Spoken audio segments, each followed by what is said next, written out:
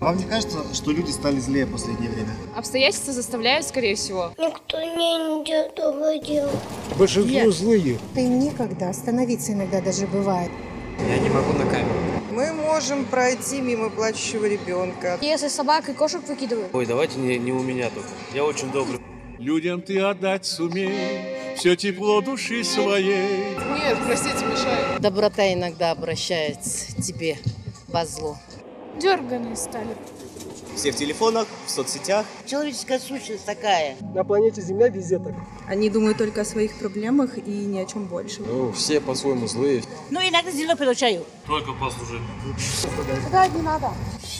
Со стороны они выглядят такими злыми и серыми, но на самом деле они добрые.